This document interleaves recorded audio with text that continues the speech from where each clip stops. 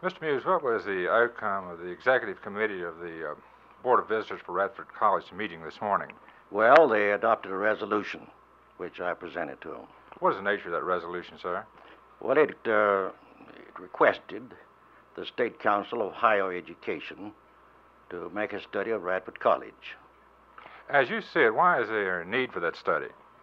Well, there's been statewide uh, discussions and publicity concerning Radford College and its administration. Now, I have with me a copy of the resolution. Which, What is that, sir? well, it here's the way it reads.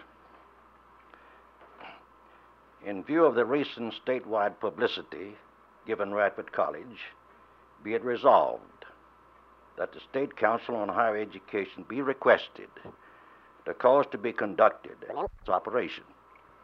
And it is requested that the report of this study be made to the Board of Visitors of Radford College.